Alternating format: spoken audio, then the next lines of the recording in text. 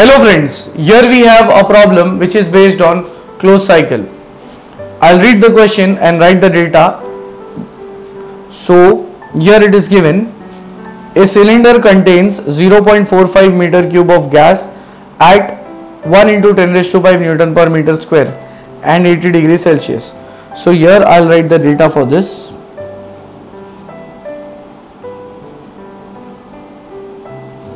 It is given that a cylinder contains 0.45 meter cube of gas so the volume is given at 1 into 10 raised to 5 pressure. So P1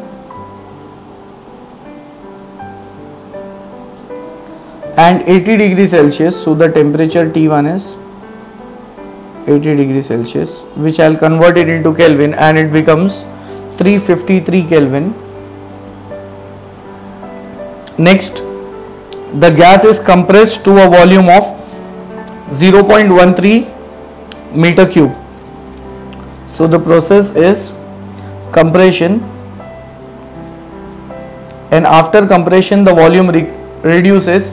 At first it was 0.45 now it is 0.13 so v2 that is after compression it has become 0.13 meter cube and the final pressure that is p2 pressure has increased after compression as we can see here.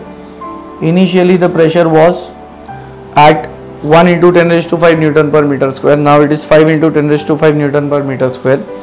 Determine the mass of gas. So we have to find out the value of m. And secondly we have to find the value of n for compression. This n is nothing but it is polytropic index. So the compression which they have given here it is polytropic compression. Now with the data available to us let us try to get the solution to this problem.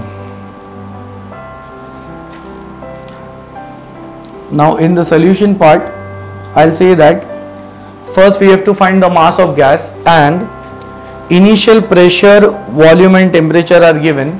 So I'll use the characteristic gas equation that since the characteristic gas equation is given by this equation is used to find the mass of unknown air or gas. It is P1 V1 is equal to MRT1 so therefore mass M will be equal to P1 V1 upon RT1 now therefore mass will be here the value of P1 I'll put it 1 into 10 raised to 5 Newton per meter square. Volume V1 is 0.45 meter cube. R value standard value we can assume it.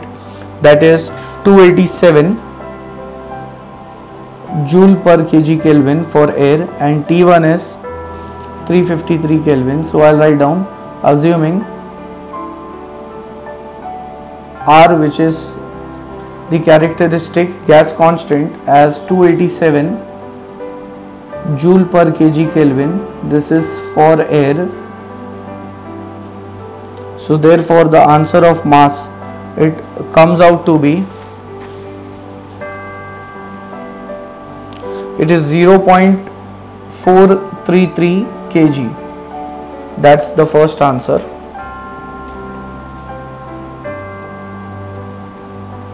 answer 1 next after reaching here they have said that also to calculate the value of polytropic index which is n so here I'll say that since for the process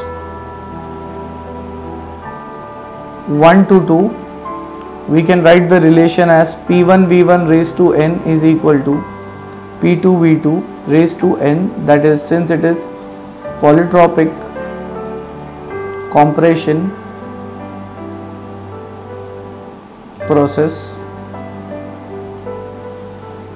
So therefore here if we see we have the values of p2 as well as the value of p1 so I'll write the relation in this way that v1 upon v2 they will be common raised to power n is equal to here we have p2 divided by p1 so therefore now v2 value and v1 both are given.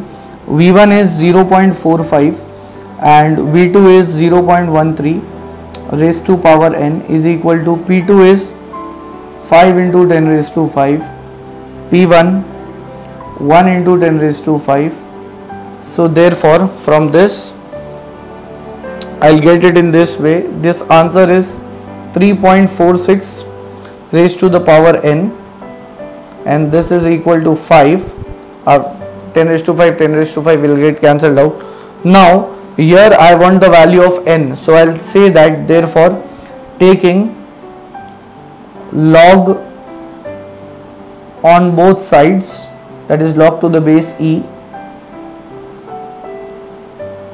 So we have n will be multiplied here and log to the base e of 3.46 is equal to log to the base e of 5 and then I'll get this n is equal to log to the base e for 5 divided by log to the base e 3.46 and from this I'll get the answer of n which will be 1.296 and this is the second answer. So at first we have calculated the mass which was 0.433 kg answer number 1 and secondly we have calculated the value of polytropic index n that is 1.296 and both these questions were asked with this we complete the problem